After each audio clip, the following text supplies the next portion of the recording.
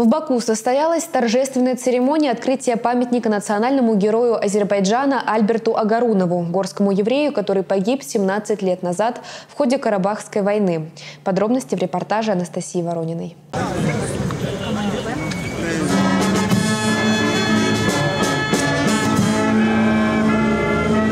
Альберта Агарунова призвали в армию в 1987 году. Пройдя службу в Грузии курсантом в учебном подразделении, он получил звание младшего сержанта, а после был назначен командиром танка.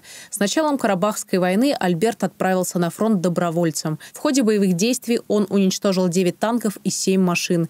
Во время штурма в Шуше снайпер сразил Альберта во время того, как он переносил тела погибших в бою однополчан.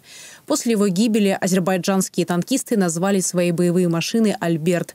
Бакинская средняя школа номер 154, которую он окончил, и улица в Нариманском районе тоже носит его имя. Мультикультурализм и толерантность – это в азербайджанском народе и в тех народах, которые живут в Азербайджане, это образ жизни.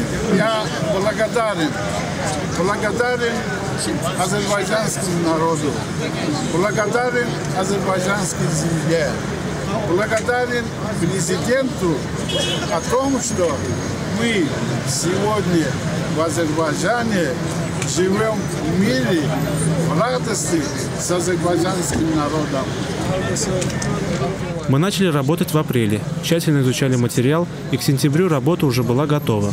Трудились вдвоем. Я, Замик Рзаев и Рахиб Гараев.